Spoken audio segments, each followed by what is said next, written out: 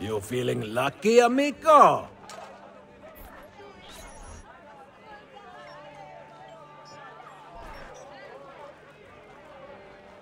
I must say the renewed interest of the Pellegrini has been quite a boost for the local economy.